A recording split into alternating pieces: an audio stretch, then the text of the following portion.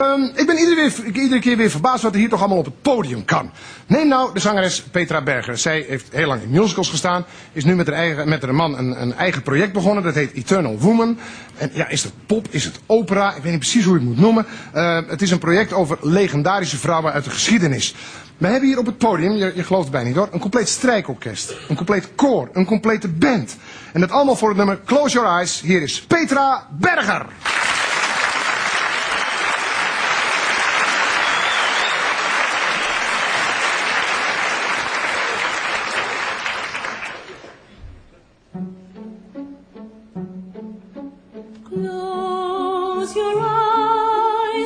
children are asleep, the night will surely keep my queen.